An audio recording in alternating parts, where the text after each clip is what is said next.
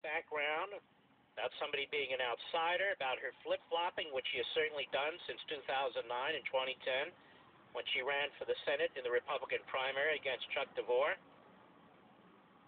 And I'm not going to trash her, but the issue after issue after issue, she has evolved.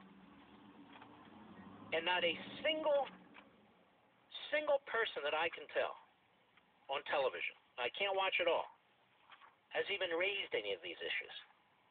Not a single one.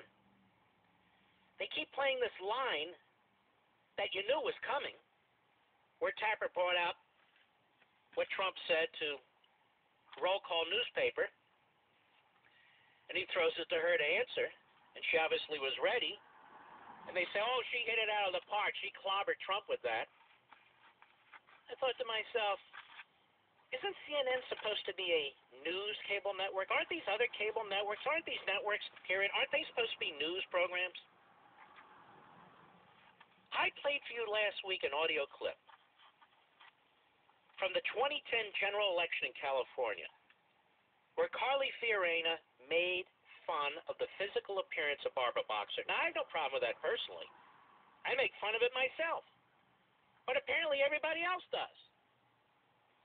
So it bothered me when she was wrapping herself in womanhood and she's run commercials on this, when in fact she trashed another woman for her looks.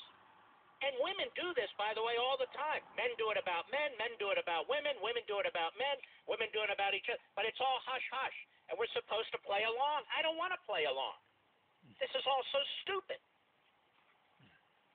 The country's going to hell, and I'm supposed to be impressed somebody said they don't like somebody's face, and the response is, I like my face, or what? What is this? what is this? It's reality TV. That's what it is. And I don't like it.